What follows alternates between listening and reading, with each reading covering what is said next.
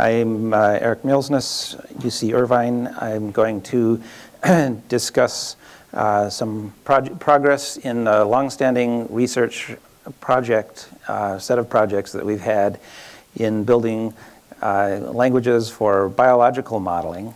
And um, many of them, if not most of them, are based on computer algebra in general and uh, Mathematica in particular.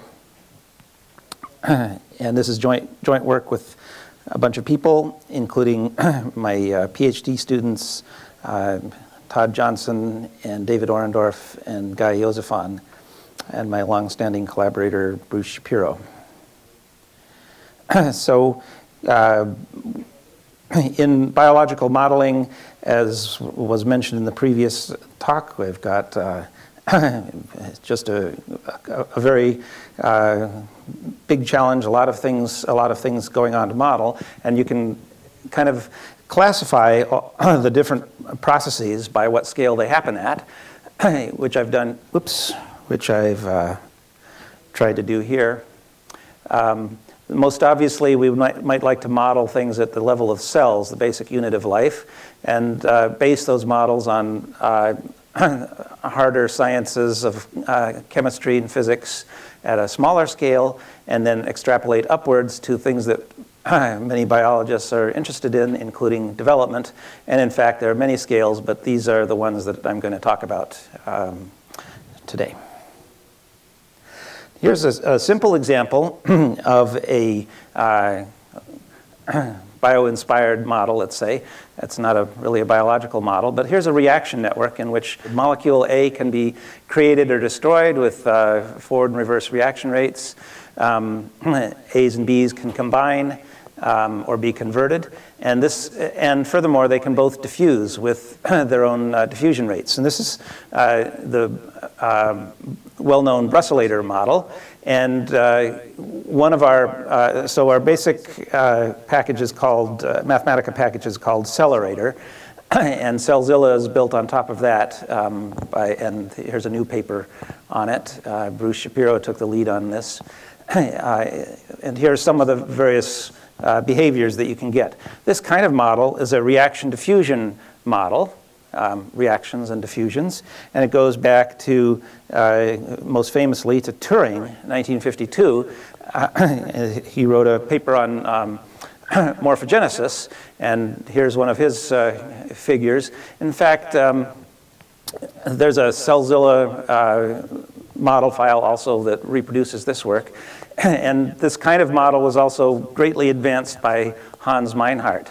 Here's another example of a, a, sort of reaction diffusion model in which the reaction part of it is actually an analog Hopfield style neural network designed to model gene regulation networks. and this was uh, our work with uh, John Reinitz and Dave Sharp originally for this equation. And then here Reinitz and Sharp went ahead and uh, applied it to the famous uh, even skip gene in, in Drosophila, uh, data and model. Um, there are other mechanisms of morphogenesis besides uh, reaction diffusion. For example, you can have receptor-ligand spatial, spatial interactions instead of diff diffusion. and in the case of the plant uh, modeling that we've spent a long time on, there's a, a crucial uh, growth, growth hormone called auxin, which has a private circulatory system just for auxin, and that gives you another kind of spatial model. It's required to explain the patterning of new buds for, buds for new leaves and flowers in uh, all of the terrestrial land plants. Furthermore, biomechanics is becoming important, uh, and we can expect to see biomechanics integrated into these kinds of modeling languages. So here's a, a, a model, that, a real model of uh, the expression of a key gene called WUSCHEL right at the very middle of this spray of flowers, there's a tiny group of a couple hundred cells that actually does the pattern formation for, that gives rise to the um, patterns of leaves and branches. and this is a, a, key gene called WUSCHEL that sets the origin of coordinates, if you like, for uh, this pattern formation system. and uh, here is a model that consists entirely of reactions. Some of them are gene regulation networks, like I just showed you. Some of them are chemical reactions. Here's the Brusselator stuck inside there. Um, and some of them are uh, diffusion reactions, all implemented at the cellular scale, and running on a, on a template of a real image derived from a, a real uh, 3D microscopy of a plant. You can see this model giving rise to the peak of WUSCHEL at the right place. And uh, furthermore, if you zap it with a laser for real, then you, in both the lab and the model, you get similar answers. That's shown here in an updated version of this model. Now you can see the reactions in a little bit more detail, um, including the gene regulation networks for, for WUSCHEL and several other players. And now the model incorporates growth. So you can have a cell that grows.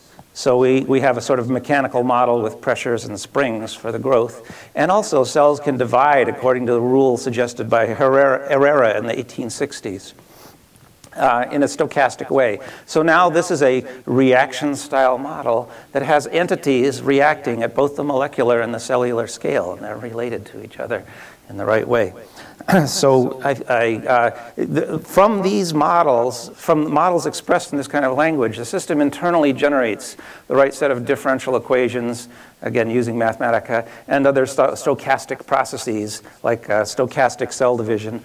and um, uh, so you don't have to worry about making sure your, your ODEs satisfy uh, um, conservation of mass and things like that. Uh, as long as you correctly express your hypothesis at this higher level, you'll get uh, the simulations of the model that you, you intended. so I mentioned this is all built on top of, of Cellerator, and there's quite a, a, a stack of software um, with uh, Mathematica at the bottom, um, sort of in the middle, and um, CellZilla spatial modeling built on top of that, and kind of an, an alternative pathway that's a little bit more general um, based on Guy Yosiphon's thesis uh, that lets you handle um, rule-based modeling in greater, in greater general, generality. So um, the stochastic models and uh, stochastic modeling and, and rule-based modeling has a fundamental connection to um, field theory approaches where you have particles interacting with one, an one another in normally uh, calculated using Feynman diagrams. uh, and all of these diagrams correspond to things that um, could happen according to an algorithm that's literally derived from the same mathematics as the Feynman diagrams. Here's an example of this algorithm now. In the case where you have some reactions, like A plus B goes to C, that are stochastic, and other, reaction, other processes that are actually ordinary differential equations. For example, the growth of a cell. And here's the general algorithm that is in the core of our engine for handling this kind of case.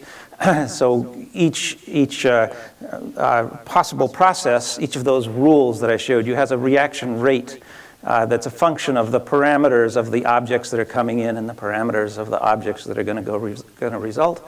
And you calculate the probability per unit time of each reaction happening, and then you get to integrate in not only, oh, I don't know what is, uh,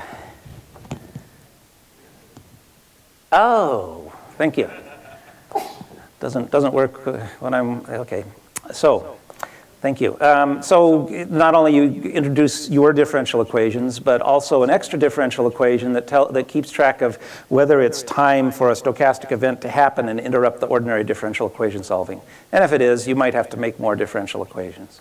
Uh, here's another case of uh, a, the, the, growth of a root, which involves both um, uh, cell division, stochastic cell division, and, and also uh, chemical reaction networks. Um, and now this is the, the green alternative uh, stack of software that I showed you with, um, I think I started a little late, like uh, 15 minutes late or more. um, so that there are uh, processes, in this case we have, uh, again, processes that, are, that represent um, uh, for example, cell division and cell growth, but also differential equations freely intermixed. But you get to specify in Plenum, which is this package, you get to specify what the differential equations are in uh, complete detail. And this engine that I just showed you will simulate these kinds of things. Here's the, that was the pseudocode. Here's the actual code in Plenum uh, that lets you uh, simulate uh, this, this model. Another thing you can do with this kind of declarative model a modeling language where you have arrows that take from left-hand side to a right-hand side is you could translate between different uh, languages uh, that all have this sort of declarative characteristic. You could translate between Cellzilla and Plenum, uh, or uh, between these languages and an L system, for example, uh, by having a sort of a, a generic uh, notation that has um, features that are specific to the each, each language that you're trying to translate. And we've prototyped this use in a package called Cambium that lets you translate back and forth between Plenum and another, a C++ code that was used in the plant project called Organism. And it just required changing the input format, making it a little bit general, more general for organism in order to uh, create this uh, translation. So now to describe in a, so actually now we, do we know how, how much more time there is in this talk based on 10 more minutes? Okay, great. So, of course, we want to make these models as realistic as possible, and more realism is known as the, at the molecular level. So let's discuss a couple of, briefly, gene regulation networks and signal transduction and how these things can be modeled uh, in a little bit more detail. Here's that equation we use for gene regulation networks, and it's based uh, and here it is appearing in, uh, to reformulate a model of the, of the AP axis, uh, sorry, the DV, dorsiventral axis in the football-shaped organism, uh, uh, embryo of a fruit fly. Uh, so here's a mathematical output of the gene expression for the zen gene under this model. It's not our model, but we reformulated it this way. These models of gene regulation are all based on um, quasi-equilibrium stat-mech, and so um, the one I just showed you is a neural net approximation. You could instead use the actual, uh, the non-approximated version, which is a ratio of polynomials. And you could add in cis regulatory module structure, which is increasingly important since uh, sequence information gives you that, uh, that information. Here's an example of a gene regulation network model that we can generate algebraically in which each GRN uh, reaction is given by a ratio of polynomials. This is the famous stem cell fate determination uh, system with uh, OCT, SOX, and NANOG as the three genes that are interacting to uh, uh let a pluripotent stem cell adopt a more particular fate. Signaling, signaling is the process by which uh, a molecule on the outside of the cell conveys somehow some information through a chain of reactions to all the way to the inside where the gene regulation network can hear it and do some appropriate um, uh, response. For example, uh, there's signal transduction in your synapses. where you have an in, influx of calcium uh, and a, a, a, a, complex called CAM kinase 2 that has to respond to that. And here is the Plenum model for part of uh, you know, another published model that actually runs on a huge cluster uh, in, at, uh, in San Diego uh, uh, in the Sejnowski lab. and um, so you can, you can express that kind of model this way with parameterized objects and lots and lots of them. Or um, we could now try to make a reduced model by using this, um, well, this, uh, let me, uh, for time, skip uh, ahead a little bit. So here's the CAM kinase model again, and here's a reduced model which gives you a probability distribution on the states of all these molecules, CAM kinase, calmodulin, and so forth. And we've got these random variables in circles connected at by how those random variables could interact.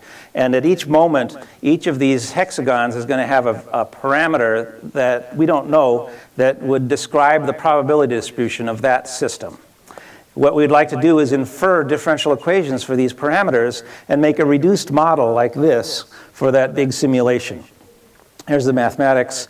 We have the big model, we have a reduced model, and here's the, the fitting. All of these, all of the uh, bouncy parameters come from big simulation. They're the best fits of a Boltzmann distribution to the probability distribution generated in a lot of runs. And the, the red lines are the reduced model. And you can see that the differential equations are guiding the parameters of the reduced model correctly.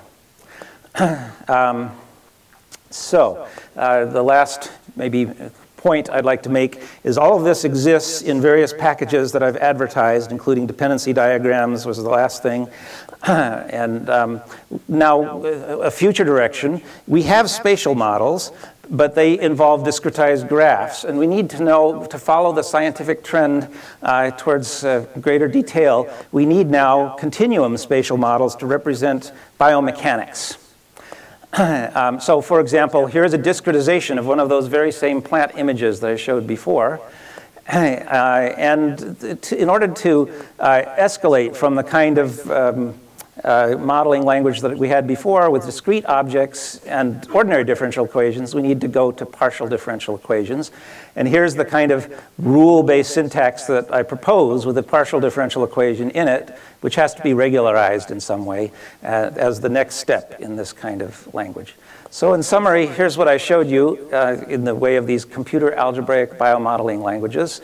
Uh, there's Cellerator, CellZilla and Plenum let you do spatial, stochastic, uh, and hybrid models. I demonstrated applications to gene regulation networks and plant development some solution algorithms, a model reduction algorithm, which is also implemented in Mathematica, and a future direction uh, that uh, hopefully will mesh with uh, future directions from uh, the uh, Wolfram research as well of adding dynamic geometries and partial differential equations. Thank you.